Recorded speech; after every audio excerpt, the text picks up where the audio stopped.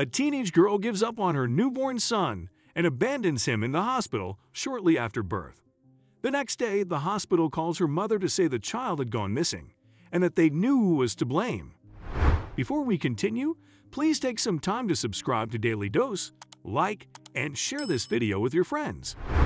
Emily Henson was only 18 when she got pregnant with her boyfriend Sean's child. When Sean learned about the pregnancy, he was eager to take on the responsibility. But Emily's mother, Mrs. Henson, who was more like the head of their family and had a say in all matters, decided otherwise.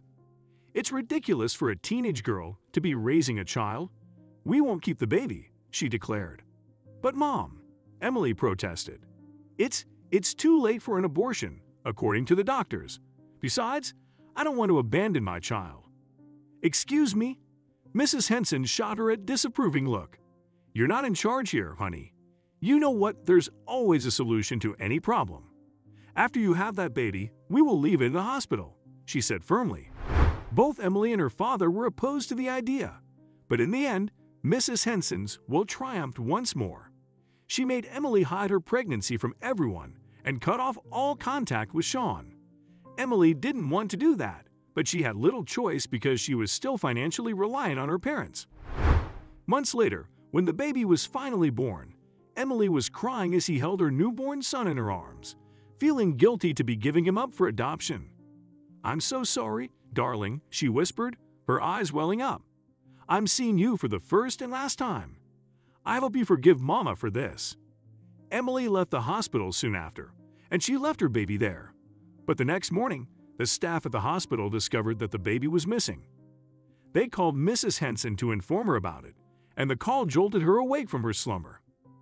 I'm sorry to bother you this early, Mrs. Henson, Emily's doctor stated, but your grandchild is missing from the hospital. We think we know who's behind it, so please come to the hospital as soon as possible. Mrs. Henson was very upset. How can the child just go missing like that? Josh, come on, we need to. As she hung up the phone, she noticed her husband's side of the bed was empty. She looked everywhere for him and called him, but he didn't answer. Emily, too, was nowhere to be found. Mrs. Henson then remembered the doctor's words. We think we know who's behind this. No way. It can't be them. She hastily got dressed and went to the hospital, where she discovered that the doctors had caught Mr. Henson leaving the hospital with the baby on the security cameras. A nurse had handed him the baby.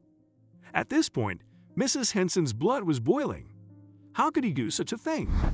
Before calling Mrs. Henson, the hospital authorities had already notified the police, so they were on the lookout for Emily, Mr. Henson, and the baby. Thankfully for Mrs. Henson, by evening, the cops tracked them down. They were at Sean's place. When Mrs. Henson arrived there with the cops, she was enraged. But she wouldn't be tolerated this time. We are not giving up the child, Laura, Mr. Henson said. If you're going to force us again, forget it. Officers, my wife is pressuring my daughter to give up the baby, but my daughter? Eh, I don't want that. Emily nodded and stated that she did not want to abandon the child.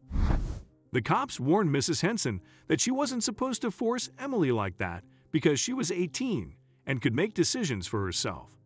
That enraged Mrs. Henson even more. Don't forget what we settled on, Josh. I'm not letting the baby stay in my home. After all, that house is mine. I own it. Well then, Laura, Mr. Henson said, you can live there alone because I'm divorcing you. I'm sick of you making decisions for the rest of us. Emily had to steal her child and flee the hospital like a thief. We've had enough of your obstinacy. Goodbye, Laura. Mrs. Henson couldn't believe she was being shunned like this, but her arrogance would not allow her to see her folly. She stormed out of the house and gladly signed the divorce papers Mr. Henson later sent her.